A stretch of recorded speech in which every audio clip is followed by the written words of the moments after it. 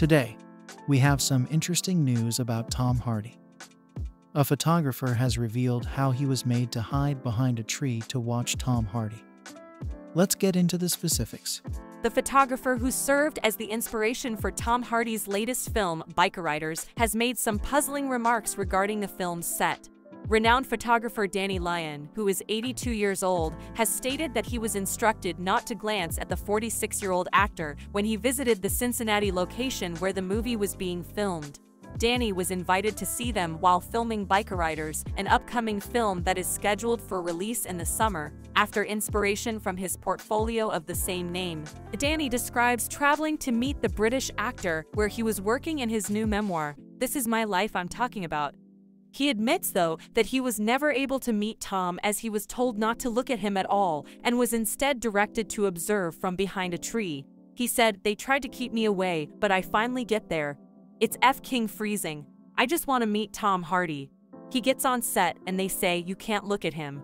I said, What do you mean? Why can't I look at him? They say, Oh, he doesn't like it. So they make me hide behind a tree and all this bull crap.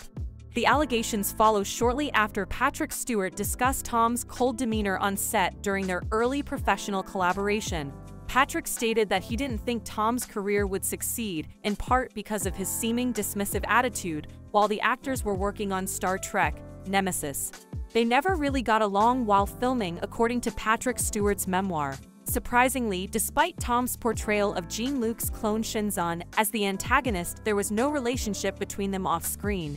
He wrote, I didn't have a single exciting scene to play, and the actor who portrayed the movie's villain Shinzon was an odd, solitary young man from London. His name was Tom Hardy. He said that rather than forming relationships with the seasoned group of actors, Tom was more interested in spending his free time with his girlfriend. Patrick stated, Tom wouldn't engage with any of us on a social level never said good morning, never said good night, and spent the hours he wasn't needed on set in his trailer with his girlfriend. Tell us in the comments what you think of Tom Hardy's attitude while working with colleagues. Don't forget to like the video and subscribe to the channel for more updates on what's happening with your favorite stars.